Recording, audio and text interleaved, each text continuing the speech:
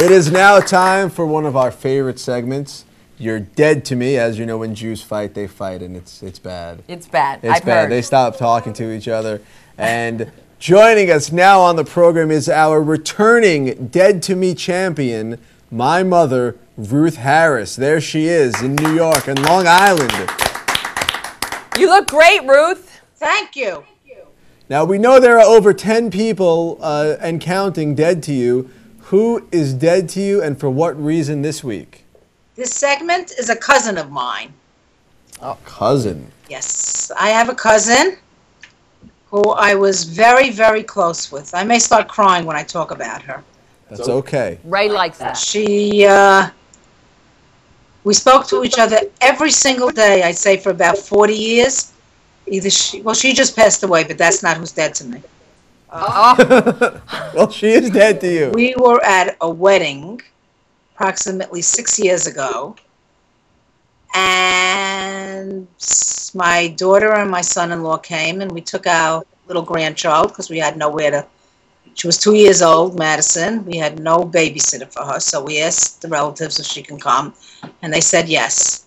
Uh, we were sitting at the table, and evidently they didn't want to sit with us for some reason. Maybe because my grandchild was there, she was a child, I don't know. So they asked us to move. Her daughter asked us to move, not her.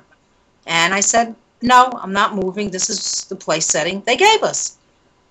And um, my the wedding was my cousin's great niece, who's my second, third cousin, whatever you want to call her. And uh, evidently, they didn't invite their children, uh, my cousin's grandchildren. They didn't invite them.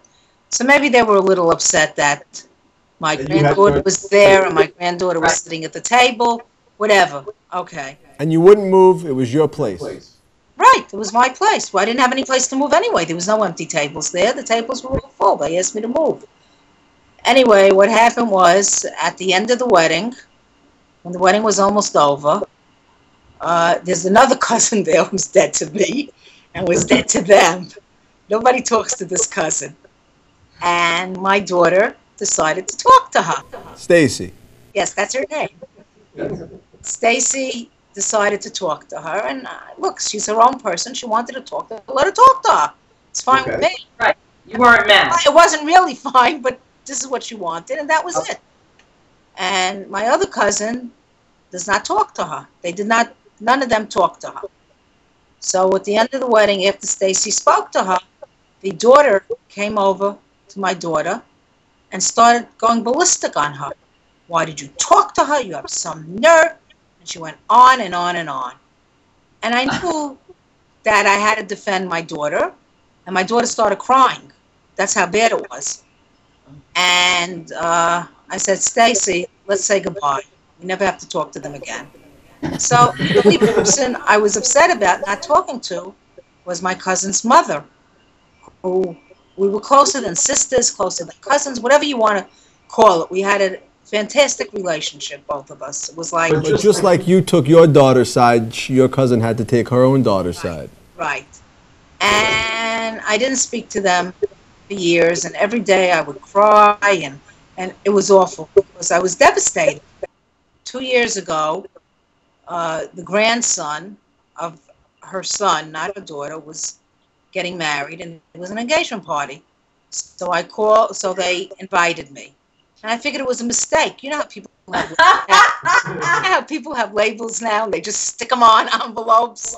Yeah. So I had Stacy call my cousin, not my cousin who I was close with, but the, daughter. father, the father of the uh, groom, so to speak. And she says, "This is a mistake. You really want my mother there?" Because none of them spoke to me for four years, five years. So they said yes, they want me there. Blah blah blah. So I said, "Okay, I'll go," because I really wanted to see my cousin.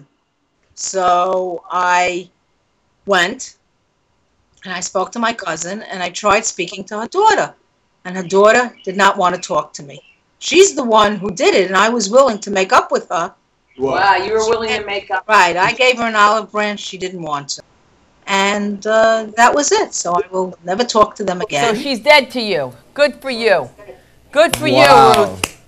All because Stacy spoke to this other cousin at a wedding. All because she went ballistic on my daughter. And she really went ballistic on her. She really, really it was terrible. All right, thank you very much. We got to We a love you. Ruth Harris, ladies and gentlemen, our Dead to Me champion. We'll be right back.